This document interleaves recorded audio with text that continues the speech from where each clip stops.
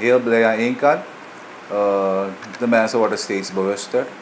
Ze zorgen beter voor hun dieren. Heel jammer aan de andere kant wordt het bos een beetje uitgeroeid. Dus laten we liever niet praten daarover. Want er ik zie vaak op Facebook, op de social media, dat er veel tijgers en zo worden geschoten.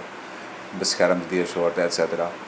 Maar wat betreft de dierenzorg gaat het wel vooruit. Hoewel we het een beetje moeilijker hebben met wat, omdat de kosten een beetje hoog gaan. Dat ze wat moeite hebben om ze toch wel goed te verzorgen, maar het lukt ze toch aardig wel. De, de pet shops zijn beter. Er zijn dierenwetten geactiveerd.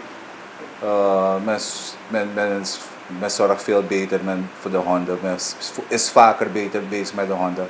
Wel, soms ze niet alle tijd hebben omdat iedereen de de hele dag bezig is.